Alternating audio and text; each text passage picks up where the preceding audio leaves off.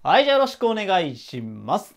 え今回は小学生の社会、コンテナ船だけじゃないんだぜということで、え船の続きをやっていくわけなんですが、前回ね、こちらのコンテナ船を特集した動画を撮っていったんですが、当然、船はコンテナ船だけじゃありません。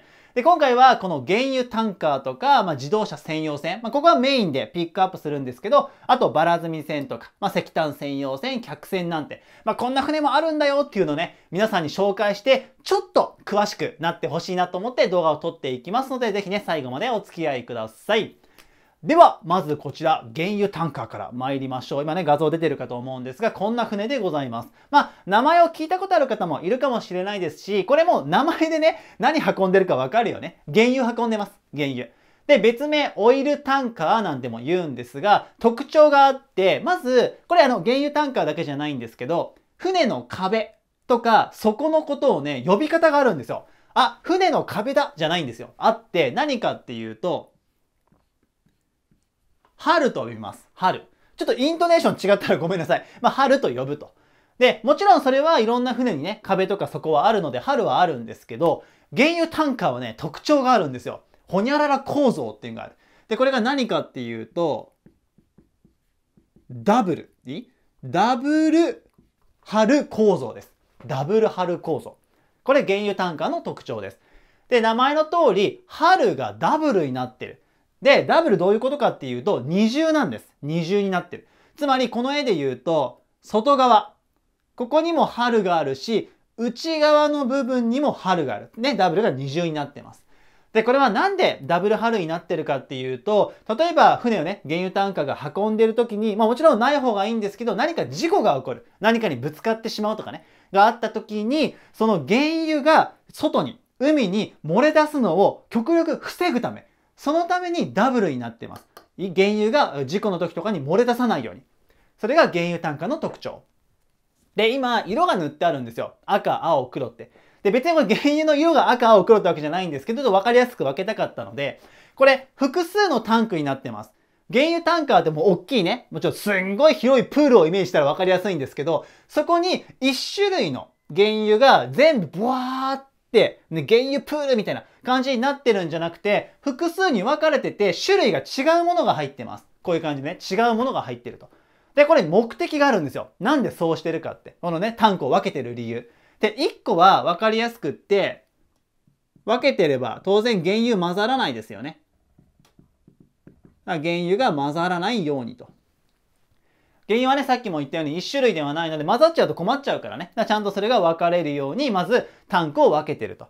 で、もう1個は原油のホニャララを少なくしたい。これ何かっていうと、揺れです。揺れ。で、これちょっとね、皆さんにイメージしてほしいんですが、でっかいね、こう広い、こう大きな水槽みたいのをイメージして、そこに水がいっぱい入ってる時、これを歩きながらみんなに運んでもらいます。トコトコって。これ、こぼさず運ぶの難しいんですよ。これが横に大きくなればなるほど。なんでかっていうと、ちょっと揺れたその波が大きければ大きいほど波って大きくなっていくので、揺れて安定しながら、うわバシャーンみたいな。ってなっちゃうんですね。で、それを防ぐためです。原油タンカーで。さっきも言ったように、このね、横に広いんですよ。原油タンカーで大きいので。だからめちゃめちゃでかいプールに一種類の原油だけ入ってると、波が起こっちゃうと、それが大きなパワーになっちゃうんで、船が揺れちゃうんですよ。全体が。原油が揺れることによって。で、安定しなくなっちゃう。それで事故になっても困っちゃうので、こうタンクを細かく分けることによって、そのね、大きな水槽だと運べないけど、例えばちっちゃい洗面器だったらみんなこぼさず運べるじゃん。ちっちゃいから。で、そうやってちっちゃくすることによって、原油の揺れを少なくしたい。で、揺れを少なくすれば、船が安定する。そのために、えこういった風に複数のタンクに分かれていますと。ね、外から見るとわからないんですけど、中ではこういった工夫がされていることをぜひ覚えておいてください。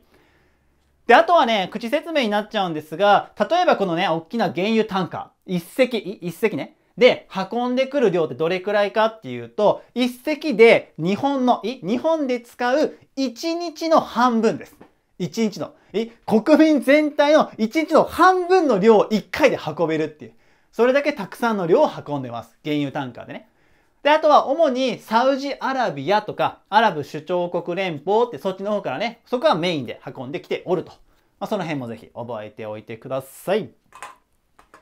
では、次ね、自動車専用線参りましょう。で、こういう風にちょっとミルフィーユみたいにね、なんか、あの、家、1回、2回、3回みたいな書きましたけど、こんな感じになってます。実際。自動車専用線。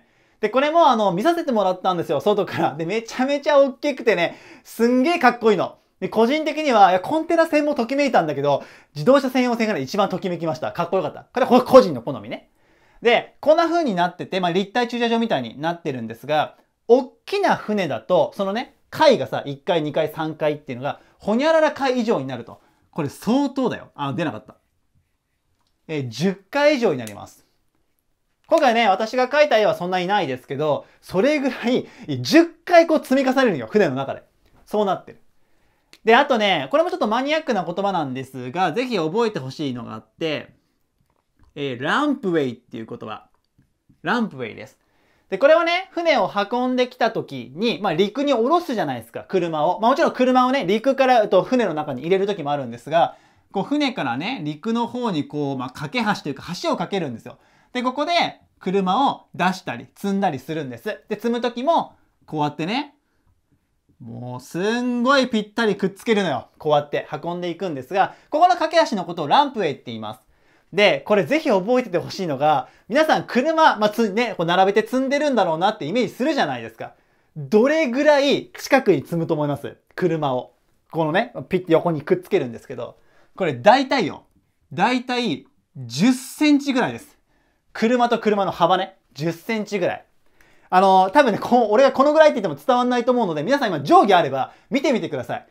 ちょっとだから10センチ。そこに車が並べてあるの。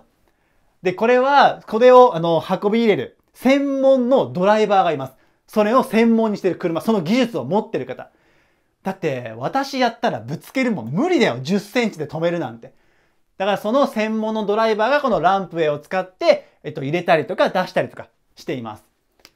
で、まあ、あと、例えばトラックとか積みたい時に、これさ、車のサイズに合わせたらトラック積めないじゃないですか。だから、ここね、高さ上下で変えられるんですよ、ちゃんと。つまり、ここにあった、例えばね、やつを、高さをね、上にブイーンみたいな、こう上げて、大きなトラックとかバスとかもちゃんと積むことができる。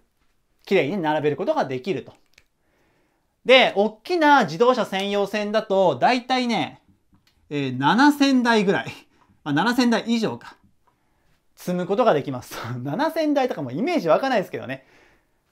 で、さっきまあ10センチってなってて、まあ船も揺れるじゃないですか。だからちょっと揺れたらぶつかっちゃいそうなんですけど、当然このね、車を運び入れた時に、えー、ベルトとか、あとバックル、こういったものを使ってガチガチに固定しても動かないように、ね、揺れてもぶつかんないようにしていく。そういった技術を使って運んでおります。いいかなで、あとちょっとこれもね、あの、これは自動車専用性だけの話じゃないんですけど、船、ここの下に水があります。これバラスト水って言うんですが、まあ、これはね、船によくあるやつでバラスト水を入れることによって、えっと、船を安定させる。下に水を入れてね。っていうのもあったりするんですが、まあ、ぜひこの辺も覚えておいてください。では、ラスト参りましょう。あと、バラ積み線はね、ちょっと話したいことがあって、これバラ積み線、バラバラに積む船ってやつで、よく運ばれるのが、ちょっとこっち、これ下入らないからね。まあ、小麦とか、まあ、大豆とかもそう。あと、鉄鉱石とかもそうなんですけど、あの、小麦をね、運ぼうと思った時に、小麦をさ、袋にこう入れる？梱包して包んで運ぶじゃなくて、小麦をそのままブワーって入れるんです。だから小麦をバラバラのまんま積む船。あ、これはバラ積み線って言うんですが、別名バルクキャリアね。個人的にはバルクキャリアおすすめです。名前かっこいいから。まあ小麦こうやって運んでくるんですけど、で、例えば小麦をね、一隻で運んできた時、どのぐらいの量を運んでくるか。これもね、めちゃめちゃ多いんですが、1回だよ。1回で約2万トンです。もし小麦を運んできたら。